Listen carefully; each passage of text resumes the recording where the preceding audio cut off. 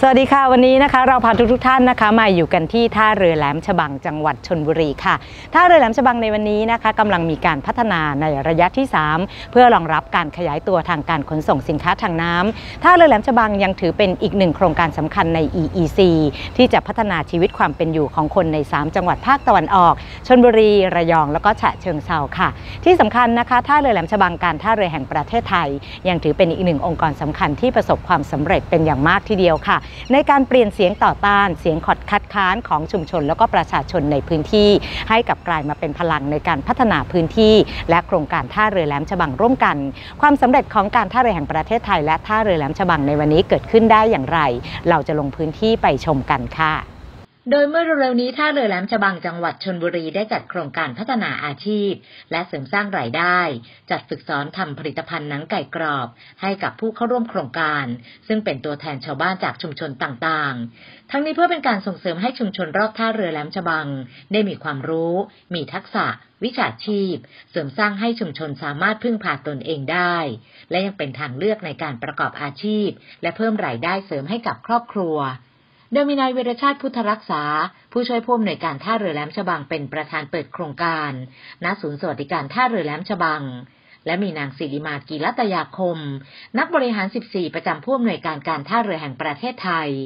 นายชนะพลพวงพฤกษ์ผู้ช่วยผู้อำนวยการกองนิติการและจัดการทรัพย์สิน พร้อมด้วยพนักงานท่าเรือแหลมฉบัง และผู้แทนจากชุมชนต่างๆ โดยรอบท่าเรือแหลมฉบังเข้าร่วม นอกจากนั้นท่าเรือแหลมฉบังยังได้มอบเงินสนับสนุนโครงการพัฒนาอาชีพ และเสริมสร้างรายได้ให้กับชุมชนรอบท่าเรือแหลมฉบัง เป็นเงินจำนวน 51,180 บาท ในการจัดฝึกสอนผลิตภัณฑ์หนังไก่กรอบ ให้กับผู้เข้าร่วมโครงการ ส่งเสริมให้ชุมชน มีความรู้ทักษะอาชีพ และเป็นทางเลือกในการประกอบอาชีพ สำหรับโครงการพัฒนาอาชีพและเสริมสร้างรายได้ให้กับชุมชนรอบท่าเรือแหลมฉบัง เป็นโครงการที่เกิดจากคณะอนุกรรมการพัฒนาชุมชน และสังคมรอบท่าเรือแหลมฉบัง ที่ได้รับการแต่งตั้งจากผู้ว่าราชการจังหวัดชนบุรี โดยมีภาคประชาชนในงานภาครัฐ และท่าเรือแหลมฉบังเป็นคณะทำงาน ทั้งนี้เป็นการสร้างความรับผิดชอบต่อสังคมของท่าเรือแหลมฉบัง ทั้งนี้โครงการดังกล่าวเริ่มดำเนินการมาตั้งแต่ปี 2558 จนถึงปัจจุบันนับรวมได้ 9 ปีแล้ว และได้ส่งเสริมให้ประชาชนได้เรียนรู้การทำอาชีพต่างๆ รวมถึงการทำอาหาร ขนมถ้วย กุ้ยช่าย สับปะรดกวน การปลูกผักไฮโดรโปนิก และการทำดอกไม้จันทร์ เป็นการส่งเสริมอาชีพ ของท่าเรือแหลมฉบังให้กับชุมชน และในบางผลิตภัณฑ์ยังเป็นการแลกเปลี่ยนเรียนรู้ระหว่างชุมชน เพื่อสามารถนำไปต่อยอด ในการประกอบอาชีพเสริมของชุมชนต่างๆ ได้ด้วย ครับโครงการพัฒนาอาชีพและเสริมสร้างรายได้ให้กับชุมชนโดยรอบท่าเรือนะครับเกิดมาจากคณะกรรมการพัฒนาและสังคมโดยรอบท่าเรือแหลมฉบัง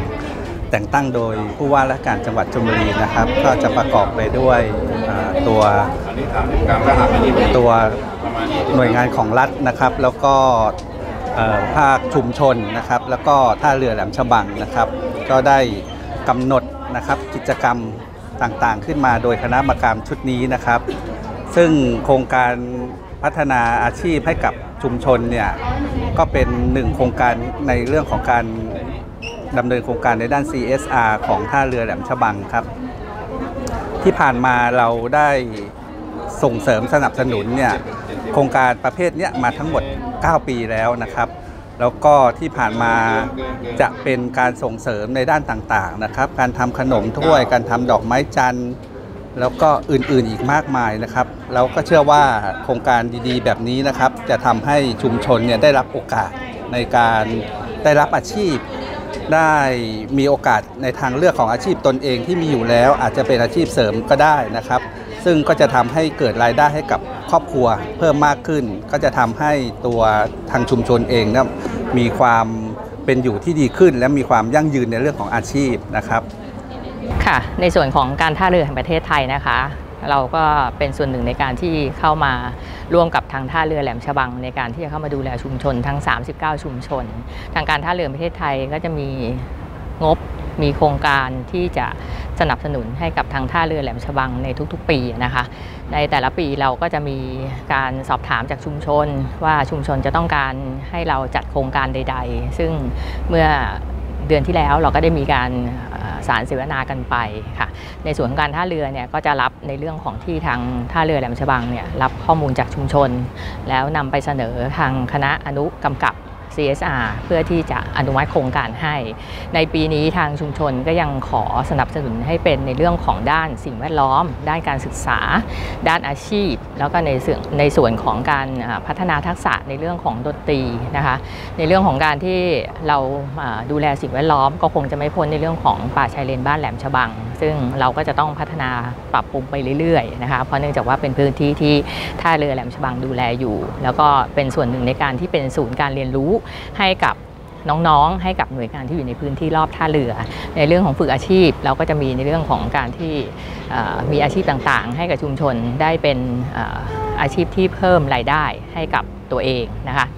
ส่วนในเรื่องของการศึกษา ในเรื่องของทุน ในเรื่องของการที่เราจะพัฒนาน้องๆ ให้ได้รับการศึกษาโดยต่อเนื่อง ไม่ว่าจะเป็นในเรื่องของการจ้างครูภาษาอังกฤษ ในเรื่องของทุนการศึกษาอย่างยั่งยืน หรืออีกมีอีกส่วนหนึ่งจะเป็นในเรื่องของทุนลูกตามเข็ม ซึ่งใน 3 ส่วนเนี้ยก็ต้องเรียนว่าทุกโครงการเป็นโครงการที่ได้รับการตอบรับอย่างดี ทางการท่าเรือก็ยังสนับสนุนให้กับทางท่าเรือแหลมฉบังเนี่ยได้จัดโครงการในเรื่องของการศึกษาเนี่ยโดยต่อเนื่อง ซึ่งตรงเนี้ยก็จะมีทั้งภาคประชาชนหน่วยงานในภาครัฐ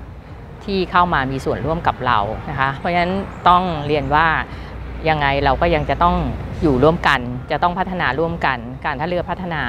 ชุมชนก็จะต้องพัฒนาอย่างยั่งยืนเช่นกันนะคะ ก็ขอให้ทุกคนมั่นใจว่าเราไม่ทอดทิ้งกันค่ะ